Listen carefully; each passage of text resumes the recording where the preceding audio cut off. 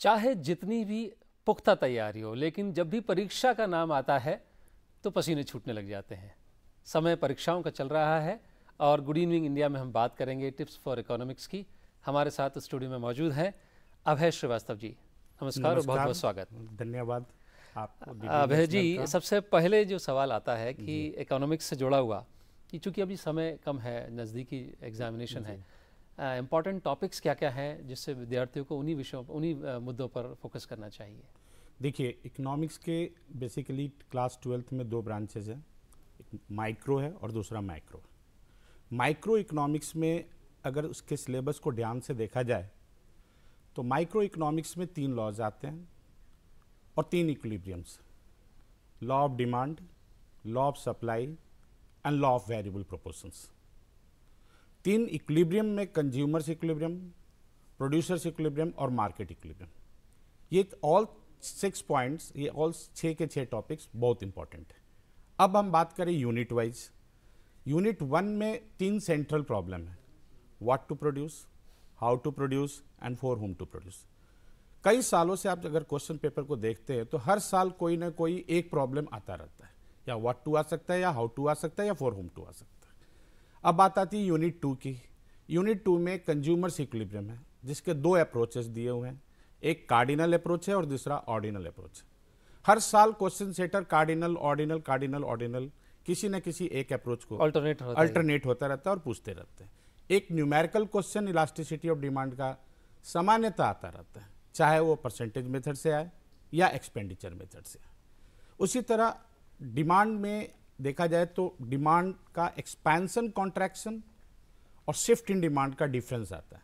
हमेशा चाहे वो इंक्रीज इन क्वांटिटी डिमांड और इंक्रीज इन डिमांड का डिफरेंस हो या increase in decrease in quantity demand या डिक्रीज इन डिमांड का डिफरेंस हो।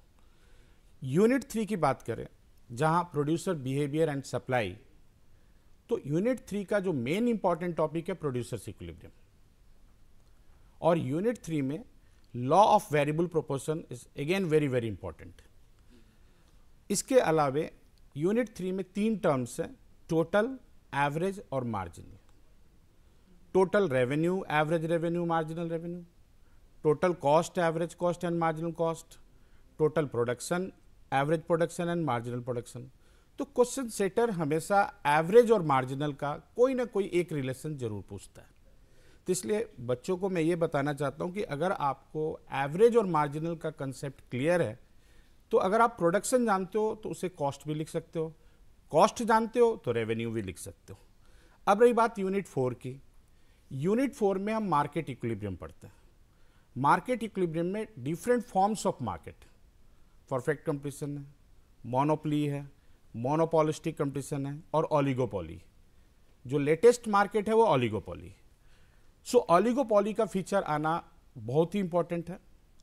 और फीचर्स के अलावे उसमें क्वेश्चन होता है कि आप एक को एक कोई पर्टिकुलर फीचर दिया जाता है और उस फीचर का वो सिग्निफिकेंस पूछता है। तो बच्चों को सिग्निफिकेंस बहुत अच्छी तरह से आनी चाहिए। यानी लिखते वक्त आप ऐसा ना कि कुछ भी लिख दो। सिग्निफिकेंस यानी उस फीचर्स का क्या इंपॉर्टेंट है। मतलब उस फीचर्स का उस मार्केट में क्या इंपॉर्टेंट है। मार्केट इक्विलिब्रियम से दो इफ़ेक्ट बनता है। एक मार्केट इक्विलिब्रियम की जब हम बात करते हैं तो मार्केट के दो एलिमेंट्स होते हैं, दो एजेंट्स होते हैं। एक बायर होता है और एक सेलर होता है। और जब ये दोनों बैलेंस्ड होते हैं तो मार्केट इक्विलिब्रियम में होता है।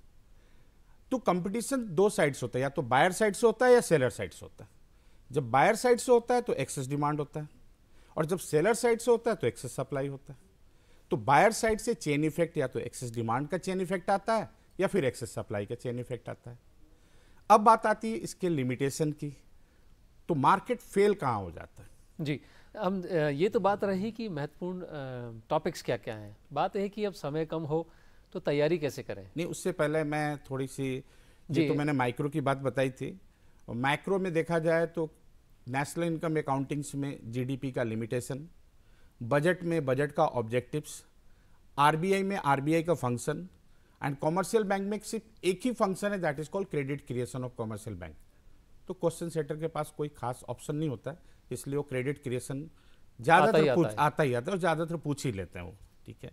और बैलेंस ऑफ़ पेमेंट में फॉरेन एक्सचेंज और बैलेंस ऑफ़ पेमेंट में फ्लेक्सिबल और मैनेज फ्लोटिंग एक्सचेंज रेट और बैलेंस ऑफ़ पेमेंट में ऑटोनोमस और एकोमोडेटिंग ट्रांजेक्शन ये कुछ ऐसे क्वेश्चन है जो तो हंड्रेड परसेंट तो नहीं हो सकता पर अगर बच्चे इन सारे क्वेश्चंस पे कंसंट्रेट करें तो उनको बहुत बेनिफिट होगा। अब आपका जो दूसरा प्रश्न है तैयारी कैसे करें? तैयारी कैसे की जाए?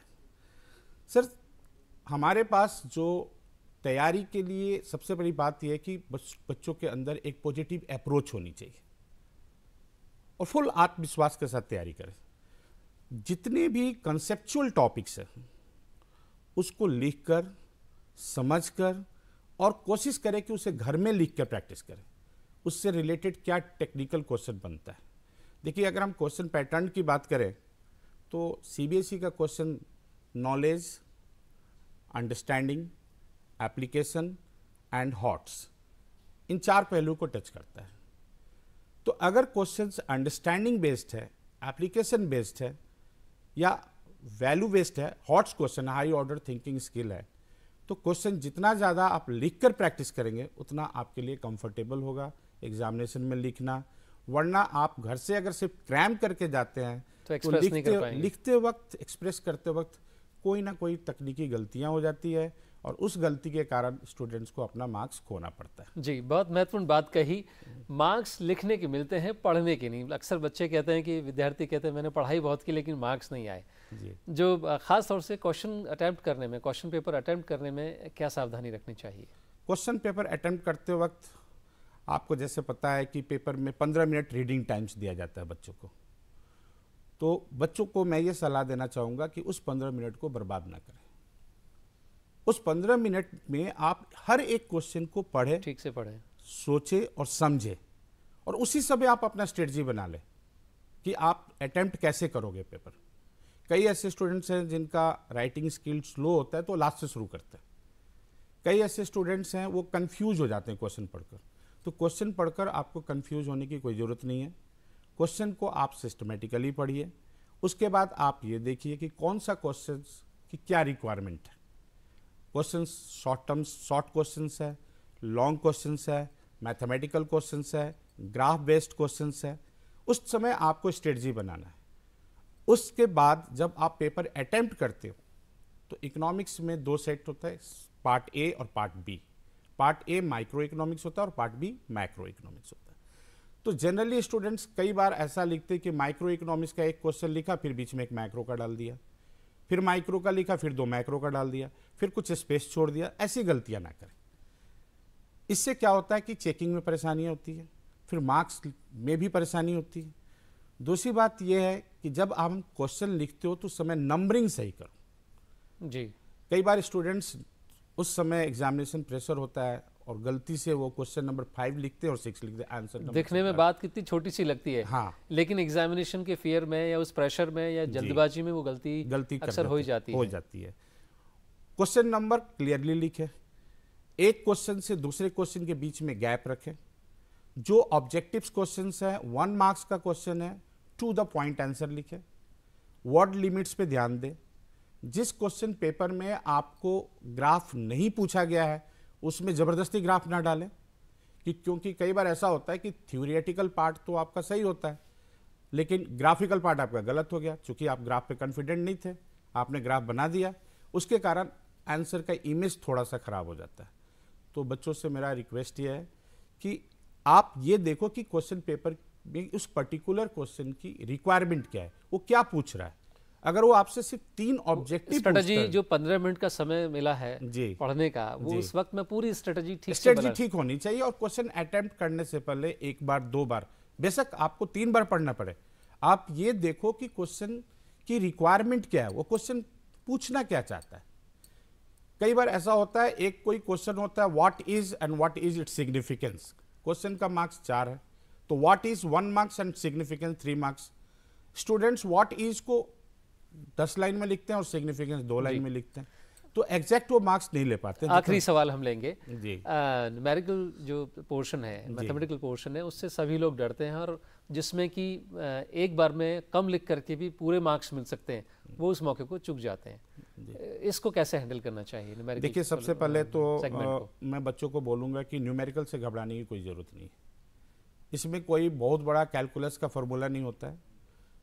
ट्वेल्थ क्लास के जितने भी न्यूमेरिकल्स हैं इकोनॉमिक्स के जो भी न्यूमेरिकल्स हैं, सिर्फ़ फॉर्मूला बेस्ड है और नंबर का पोस्टिंग सही होना चाहिए। कोई भी क्वेश्चन है, अगर जो न्यूमेरिकल क्वेश्चन है, उस न्यूमेरिकल क्वेश्चन का सबसे पहले आपको ये देखना है कि उसमें कौन सा फॉर्मूला लगेगा। अगर इलास्टिसिटी ऑफ़ डिमांड का परसेंटेज मेथड है तो आपको परसेंटेज मेथड का ही फॉर्मूला लिखना है। एक्सपेंडिचर मेथड का नहीं लिखना है। तो फॉर्मूला ज़रूर लिखें, क्योंकि फॉर्मूले का भी मार्क्स होता है। अगर चार नंबर का क्वेश्चन है तो कई बार एक नंबर या दो नंबर तो फॉर्मूला का होता ही होता है। तो फॉर्मूले का दो नंबर मिल गया।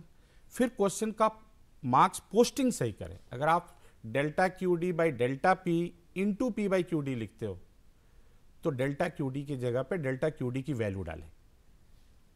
वरना कई बार होता है कि मार्क्स नंबर की पोस्टिंग गलत होने के कारण आंसर गलत डिडक्शन हो जाता है। फॉर्मूला तो आपका सही होता है लेकिन नंबर से आपने मार्क्स पोस्टिंग सही नहीं की इसलिए आपका रिज़ल्ट गलत आता है। और जब रिज़ल्ट गलत आता है तो आपके मार्क्स कट जाते हैं। जी। स्टेप वाइज सॉल्व करें। स्टेप मार्किंग आपको मार्क्स दिलवा पाएगी। यस और कई बार हमारे कई ऐसे स्टूडेंट्स हैं जिनको समय की कुछ कमी है हमारे पास में। आपको धन्यवाद देते हुए और दर्शकों को हम बेस्ट विशेष देते हैं कि अपना बेस्ट एग्जामिनेशन में करें और निश्चित तौर पर आपको बेहतरीन मार्क्स मिलेंगे।